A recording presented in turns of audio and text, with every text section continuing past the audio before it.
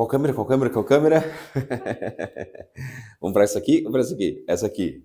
Fala pessoal, Alex, Curitiba, Freno Diag, e hoje a gente vai dar uma breve pincelada aqui no, vamos dizer assim, no início dos freios com gerenciamento eletrônico, no início da linhagem de freios com comando elétrico ou comando eletrônico, tá? Não vou colocar o sistema de EBS em questão aqui, mas eu vou colocar a entrada, o início dessa mudança de, de engenharia, de tecnologia que chegou nessa câmera aqui, que chegou aos caminhões naquela fase de saída do freio totalmente pneumático para alguns acessórios, alguns elementos eletrônicos.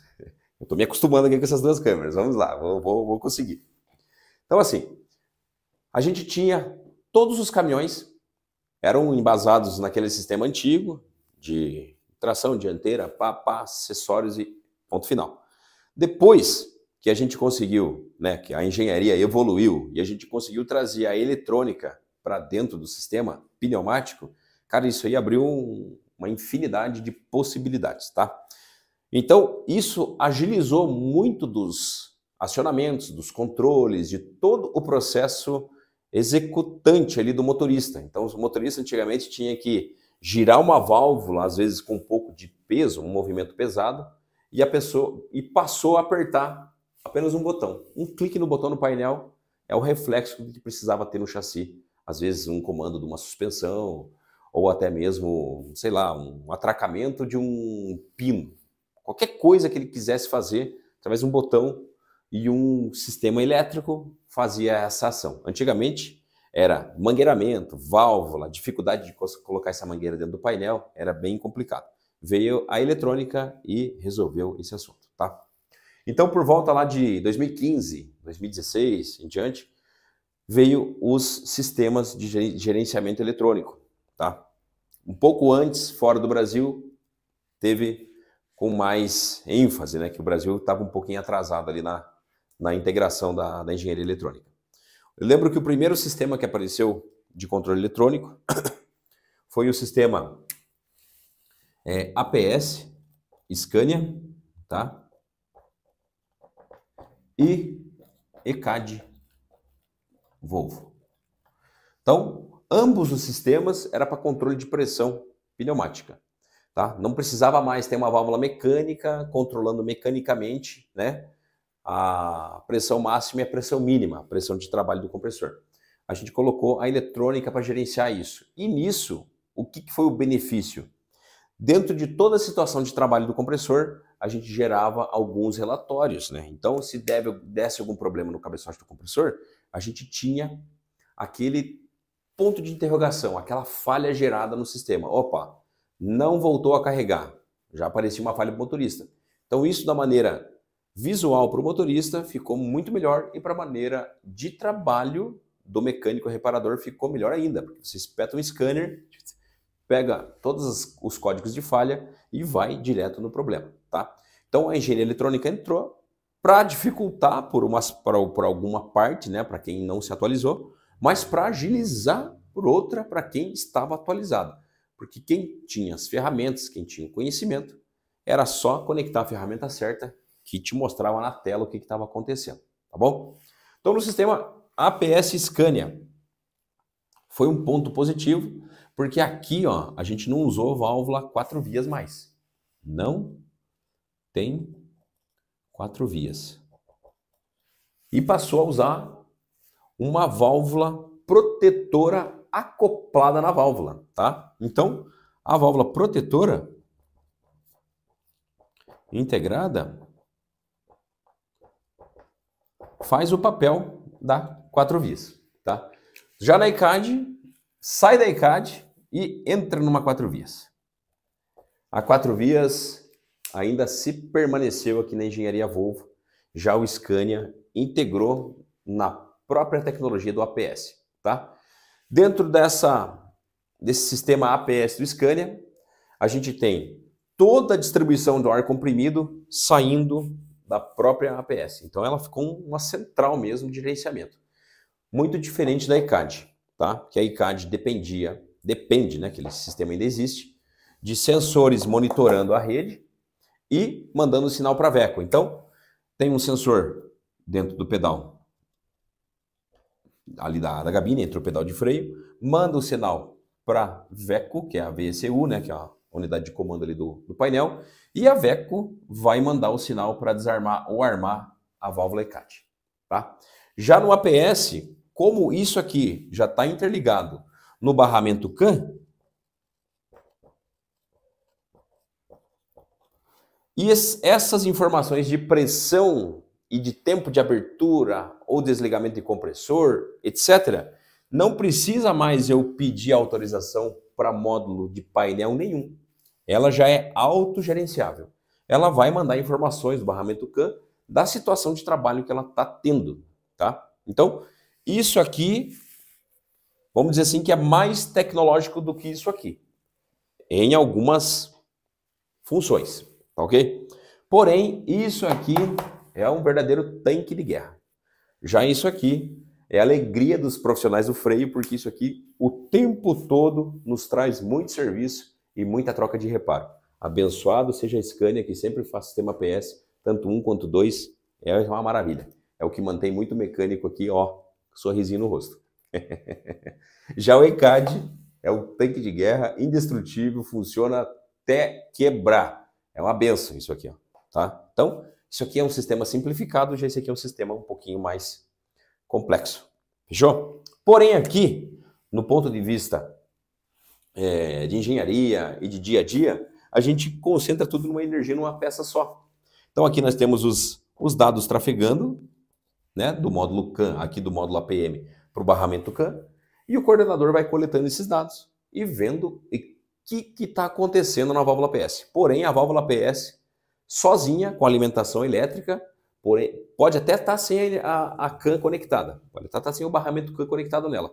Com alimentação pós-chave e o compressor trabalhando, ela vai fazer a sua estabilização da pressão. Ela vai chegar no pico máximo, no pico mínimo e assim vai. Tá? O barramento CAN é para transmitir a informação do que está acontecendo na APS para o coordenador, para o coordenador filtrar isso e devolver para o painel, dizendo para o motorista se o sistema está ok, se o sistema não está ok. Já aqui não, aqui a gente tem o sensor que monitora, né? Tem dois sensores para monitorar os ponteiros do painel e caso der algum problema, ele vai simplesmente aparecer uma falha de alto índice de volume de ar armazenado, tá? Então ele não vai dar é, nenhum outro tipo de mensagem, se caso acontecer uma baixa de pressão constante, vai dar lá um problema de compressor, mas são códigos pequenos, tá? São códigos bem pequenos.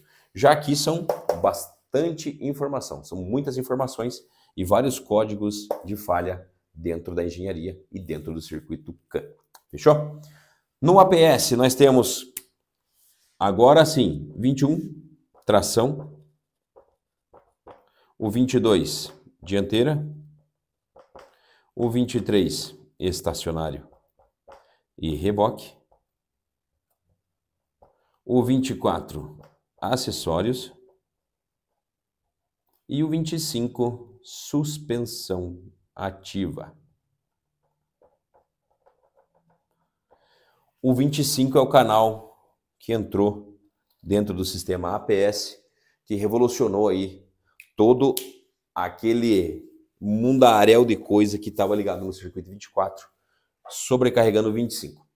O que, que a gente tem no sistema Volvo? O sistema Volvo é o seguinte: como a suspensão ativa depende de muita pressão, tá? Acima dos 10 bar, para ter um pleno funcionamento, sem nenhuma falha, sem nenhuma perca de potência na elevação do chassi. O 25 é o canal de pressão lá em cima. O que o compressor tiver preparado para carregar, seja os 2.3 bar, 11.5 bar, o que for, no 25 a gente vai ter a mesma resposta.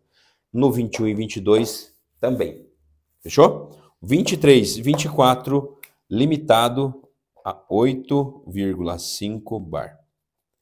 Pode ter uma pequena oscilação, 8,6, 8,7, podendo chegar a 8,8, porém uma linha de risco total não pode ultrapassar essa barreira, tá? Então, portanto, montadores respeitar essa pressão aqui do 23 24. É um único limitador parafuso Phillips no, na parte de baixo da válvula, respeitando essa, essa pressão de 8.5. Fechou?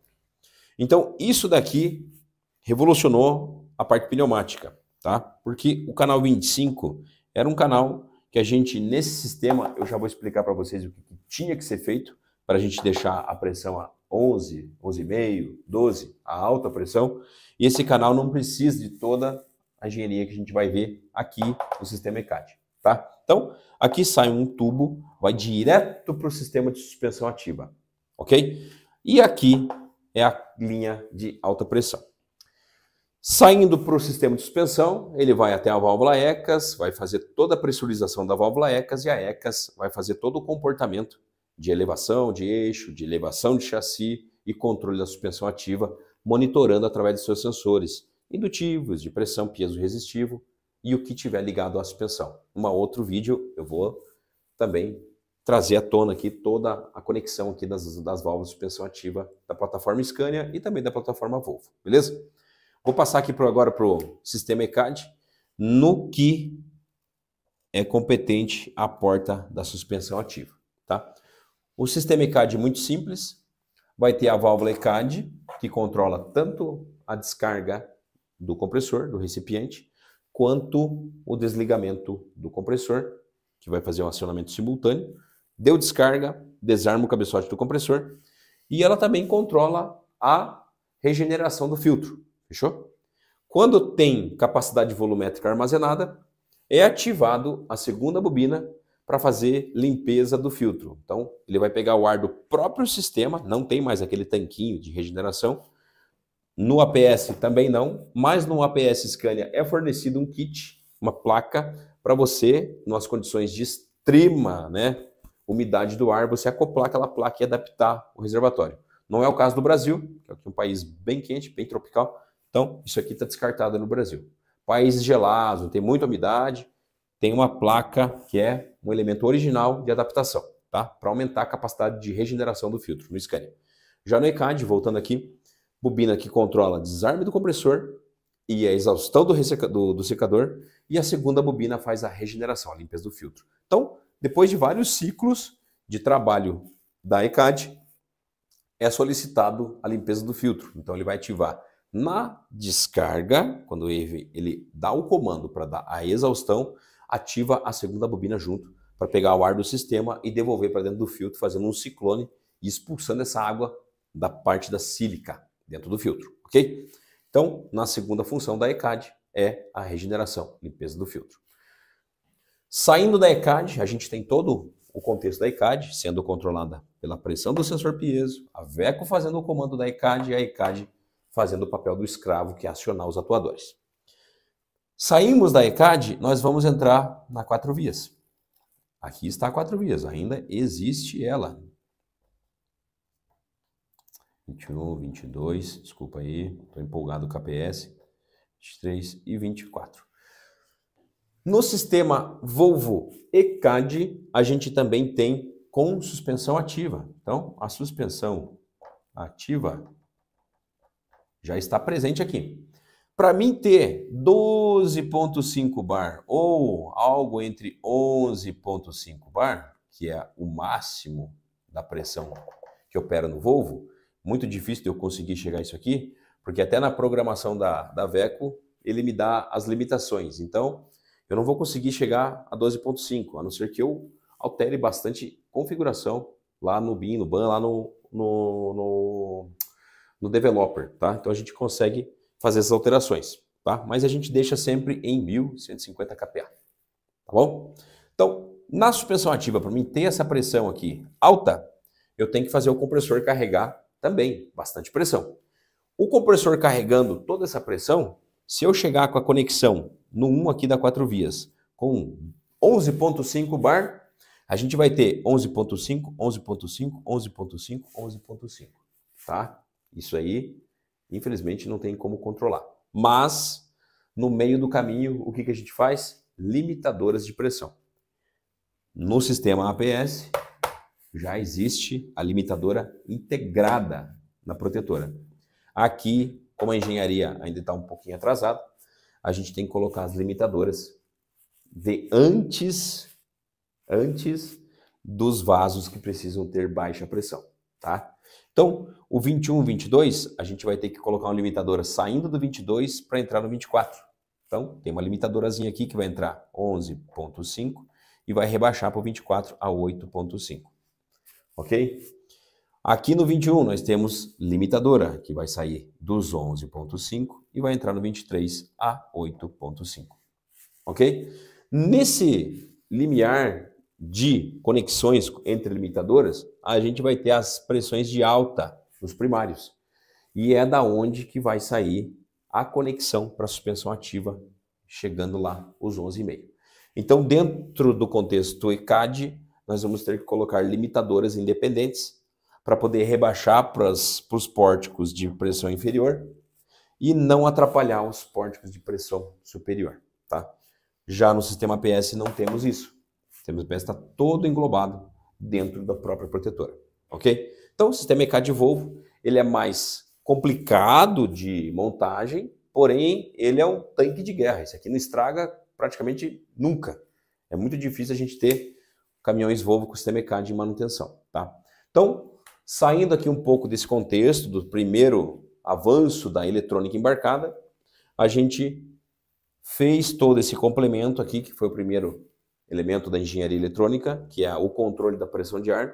E a gente, dentro desses grupos de evolução eletrônica, a gente trouxe aí, junto com isso, suspensão ativa com gerenciamento eletrônico, a parte de transmissão, tá? Com comportamento também eletronicamente controlado. Temos também parte de ajuste de freio motor, atuação de freio motor já com circuitos eletrônicos, e isso a gente vai explorando um pouquinho mais em outras aulas. Fechou? Espero que tenham gostado. Lembre de colocar o joia aí para mim, tá? Dá um salve aí, ó. Não esqueçam disso, que é importante para mim. Compartilhe o vídeo, deixe chegar esse vídeo ao maior número de pessoas e eu agradeço muito e sou grato a vocês. Até mais, tchau.